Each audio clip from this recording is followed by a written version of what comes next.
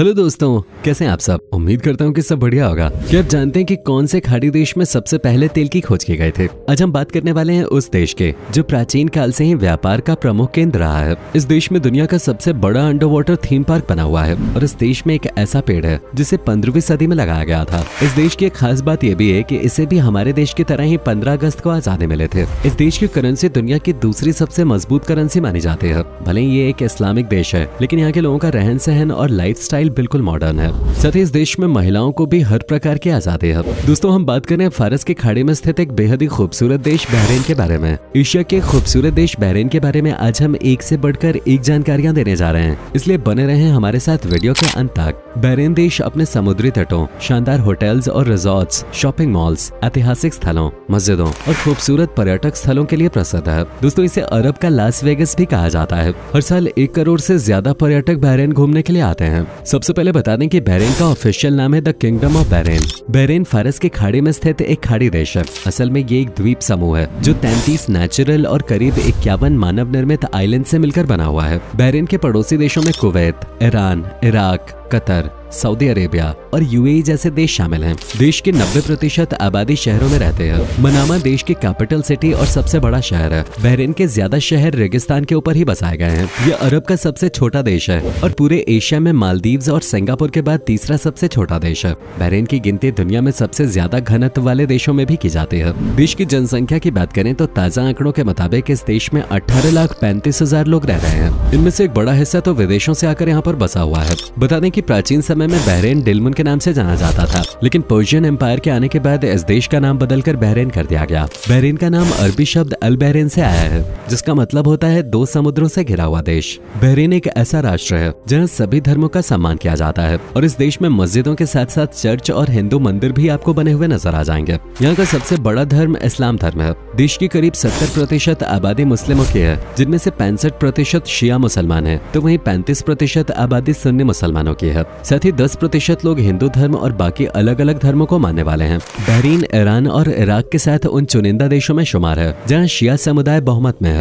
दुनिया के ज़्यादा देशों में सुन्नी समुदाय के लोग ही ज़्यादा हैं, लेकिन शिया समुदाय के बहुमत में होने के बाद भी देश की कमान सुन्नी मुसलमानों के हाथ में है। अरबी भाषा इस देश की ऑफिशियल लैंग्वेज है। इसके अलावा इंग्लिश लैंग्वेज का भी यहाँ पर इस्तेमाल किया जाता है। बहरीन पे सन 1521 में पुर्तगालियों ने कब्जा किया था। 1602 में ये पर्शियन एम्पायर के अधीन आ गया और बाद में अंग्रेज़ों ने इस देश पर राज किया। लेकिन लंबे संघर्ष के बाद 15 अगस्त सन 1971 को बहरीन को अंग्रेज़ी हुकूमत से आज़ादी मिल गए आज़ादी मिलने के बाद ईरान ने बहरीन पे अपना दावा पेश किया था, लेकिन संयुक्त राष्ट्र ने ईरान के दावे को खारिज कर दिया। बहरीन में आज भी मोनार्की रूल है और देश का राजा ही सभी छोटे बड़े फैसले लेने की ताकत रखता है। अल खलीफा परिवार सन सत्रह सौ बयासी से बहरीन में शासन कर रहा है। बहरीन हमेशा से ही व्यापार का एक प्रमुख केंद्र रहा है। यहाँ पर बड़े पैमाने पे मछली पालन, यानी मछली का कारोबार किया जाता है और दुनिया के कई देशों में यहाँ से मछली एक्सपोर्ट की जाती है। लेकिन उन्नीस सौ बहत्तर में तेल की खोज होने के बाद यहाँ पर मछली के कारोबार में कमी देखी गई और देश की इकोनॉमी कच्चे तेल पर निर्भर करने लगे। खाड़ी देशों में बहरीन पहला ऐसा देश है जहाँ तेल के भंडार खोजे गए थे।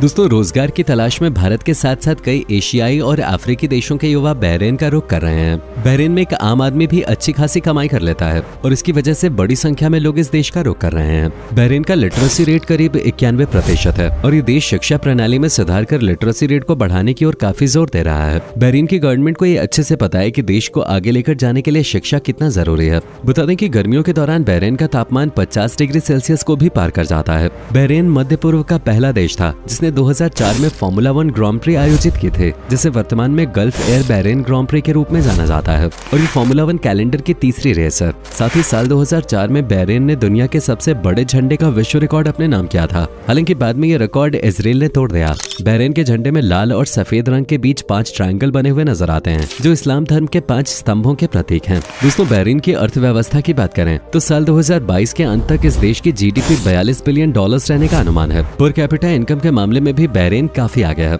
इस देश में प्रत्येक व्यक्ति औसतन पच्चीस हज़ार अमेरिकी डॉलर सालाना की कमाई करता है, जो भारतीय मुद्रा में करीब बीस लाख रूपए होते हैं। बहरीन में बहरेनियन दिनार करेंसी के तौर पर चलता है। बता दें की बहरेनी दिनार कुवैती दिनार के बाद दुनिया की दूसरी सबसे मूल्यवान मुद्रा है। एक समय बहरेन की अर्थव्यवस्था काफ़ी हद तक तेल पर ही निर्भर करते थे, लेकिन समय के साथ बैरेन ने अपनी इकोनॉमी को अन्य सेक्टर्स में शिफ्ट किया है। अब यहाँ पर एल्यूमिनियम प्रोडक्शन और कंस्ट्रक्शन का काम बड़े पैमाने पे किया जाता है। टूरिज़्म इंडस्ट्री से भी देश की अच्छी खासी कमाई हो जाती है। साथ ही education banking fishing ship making और इंश्योरेंस जैसे क्षेत्रों में भी ये देश अपनी जड़ें मज़बूत कर रहा है। ऐसा इसलिए क्योंकि तेल के प्राकृतिक और सीमित संसाधन है और तेल के खत्म होने से पहले बैरेन को आमदनी के नए स्रोत तलाशने की ज़रूरत है। जानकारी के लिए बता दें कि बैरेन एशिया में बिजली का सबसे बड़ा उपभोक्ता और दुनिया में तीसरा सबसे बड़ा उपभोक्ता है। बहरेन में कोई भी इनकम टैक्स नहीं लगता है। हालाँकि यहाँ रहने वाले लोगों को सोशल इंश्योरेंस टैक्स और एम्प्लॉयमेंट टैक्स देना पड़ता है। लेकिन बदले में सरकार देश के लोगों को कई प्रकार की सुविधाएँ भी प्रदान करती है। देश के नागरिकों और बाहर से आने वाले लोगों के लिए यहाँ मुफ़्त मेडिकल सुविधाएँ मौजूद हैं। इस देश के लोगों का लाइफ काफ़ी अच्छा माना जाता है। यहाँ सभी लोगों के पास आपको आलिशान घर और महँगी गाड़ियाँ नज़र आएँगे। ह्यूमन डेवलपमेंट इंडेक्स में बहरेन को शून्य दशमलव आठ सात पाँच का स्कोर मिला था जो इसे दुनिया के शानदार देशों की कैटेगरी में लाके खड़ा करता है।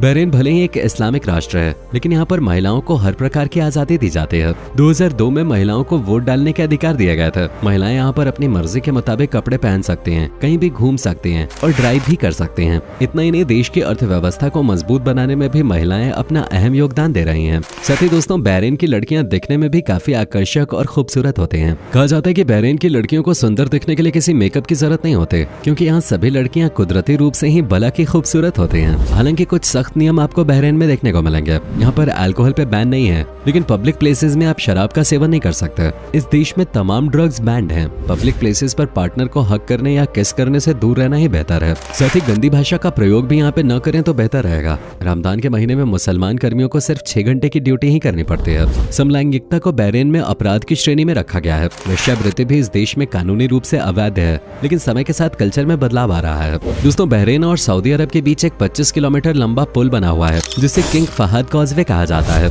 जब भी सऊदी के लोगों का मन करता है, वो अपनी कार उठाते हैं और बहरेन चले आते हैं। इसीलिए बहरेन को सऊदी का लास वेगस भी कहा जाता है। इस पुल का निर्माण सन उन्नीस में कराया गया था। कहा जाता है की सभी खाड़ी देशों में आपको सबसे शानदार नाइट लाइफ बहरेन में ही देखने को मिलेगी। आप अपने दोस्तों और परिवार वालों के साथ यहाँ जाकर मौज मस्ती कर सकते हैं, क्योंकि बहरेन में दुनिया के कई देशों के लोग रोज़गार की तलाश में आते हैं। इसलिए आपको अरब के अलावा कई अन्य संस्कृतियों की झलक भी यहाँ देखने को मिल जाएगी। रेगिस्तानी इलाके में स्थित होने के कारण बहरेन में साल भर बारिश नौ के बराबर ही होती है। बहरेन के पास करीब एक सौ इकसठ किलोमीटर की कोस्टल लाइन मौजूद है, लेकिन आपको जानकर हैरानी होगी कि सिर्फ़ पाँच प्रतिशत समुद्री तट पे ही आम लोगों को जाने की छूट है। बाकी के समुद्र तट यहाँ के शाही परिवार के नाम रिज़र्व है, या फिर देश के अमीर लोगों ने उन्हें खरीद कर प्राइवेट प्रॉपर्टी बना दिया है। बहरीन की नेशनल डिश चिकन माच बोस है, जिसे मीट फ़िश और चावल के साथ तैयार किया जाता है। अब जिस भी देश या शहर में घूमने के लिए जाते हैं, वहाँ पर आपको कई पारंपरिक रेस्टोरेंट मिल जाएँगे। लेकिन बैरिन में ऐसे कोई पारंपरिक रेस्टोरेंट मौजूद नहीं है। इस देश में अगर आपको बैरिनी खाने का लुत्फ उठाना है तो किसी बैरिन के निवासी के घर ही आपको जाना पड़ेगा। यहाँ पर ऊँट के मांस का बना बर्गर भी काफ़ी पसंद किया जाता है। साथ ही मोहम्मद नाम की एक स्वीट डिश भी यहाँ काफ़ी लोकप्रिय है, जिसे ब्राउन राइस और चीनी से तैयार किया जाता है। इसके अलावा हलवा खाना भी बहरेन के लोगों को काफ़ी पसंद है। बहरेन में साल भर कई प्रकार के इवेंट्स और फेस्टिवल्स का आयोजन धूमधाम से किया जाता है। वर्ल्ड डाइविंग डे पर मरासी डाइविंग फेस्टिवल यहाँ आयोजित होता है। बैरिन जैज फेस्टिवल एक म्यूज़िक फेस्टिवल होता है, जिसे देखने हज़ारों की संख्या में लोग आते हैं।